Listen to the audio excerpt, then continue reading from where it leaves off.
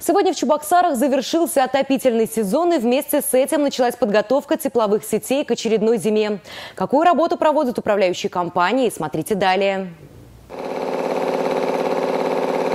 С помощью этого компрессора сотрудники управляющей компании «Жилкомсервис-1» будут промывать и опрессовывать систему отопления. Сейчас идет подготовка. Коммунальщики проверяют и тепловой узел. Закрыли, мы сейчас открываем. Давление нормально Трубы, манометры, термодатчики. За всем этим следят весь год. В обслуживании 120 жилых домов.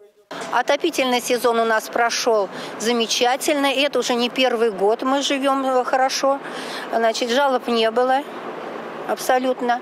Вот, сбоев у нас не было ни по отоплению, ни по воде, ни, ни по газу. Вообще все ресурсы мы получаем в достатке. Домов у нас много.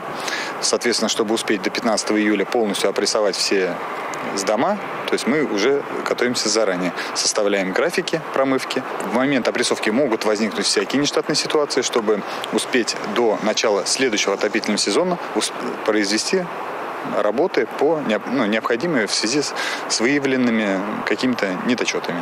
Благоустройство и уборка дворовых территорий в этом направлении тоже не отстают. Во всех дворах проходят субботники, в которых участвуют коммунальщики и местные жители. Территория у нас очень чистая, ухоженная. Начинаем готовиться к посадке цветов. С этой компанией мы работаем уже 4 года. А, сотрудничаем очень тесно. Вопросы все решаются оперативно, в спокойной обстановке, без всякой нервотрепки. Многие проблемы в УК решают самостоятельно. К примеру, водосточные трубы не покупают, а делают сами из стальных листов. Так выходит дешевле. Ну, это воронка. С крыши идет вода. Это, скажем, отсюда.